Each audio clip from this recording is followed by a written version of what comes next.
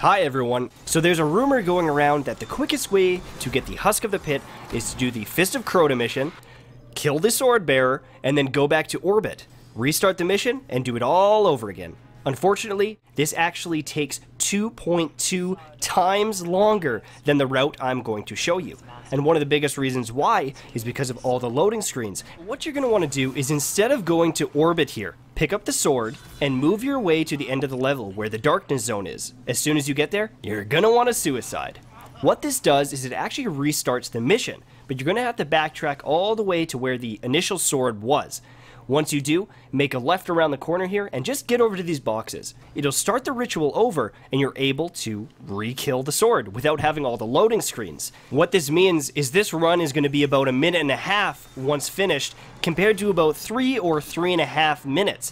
That's the difference between about 40 sword kills an hour and 20 sword kills an hour. So this drastically increases your um, time to farm, your ability to get sword kills in quickly, and if you're looking for that necrochasm, this is where you start. You need to get this Husk of the Pit, and uh, this is the fastest way to do it. So, once you've died there to the thralls, a grenade, however you want to do it, all you're going to want to do is move all the way down here to this little corner, jump over, get the darkness zone, and suicide again. Round over. Very quick, very easy, and I know you can do it.